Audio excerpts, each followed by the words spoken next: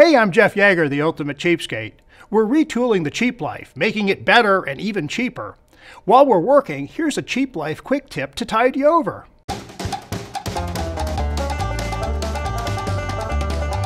Here's another twofer repurposing tip. A way to repurpose two would-be throwaway items at the same time.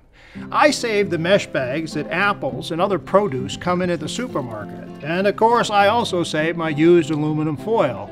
Just wad up some of the used foil, stick it in the mesh bag, and you have one of the best scrubbers for pots and pans that money can't buy.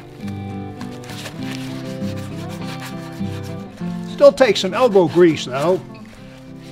Hey, be sure to subscribe for more quick tips and look out for full length episodes of The Cheap Life returning soon. Stay cheap.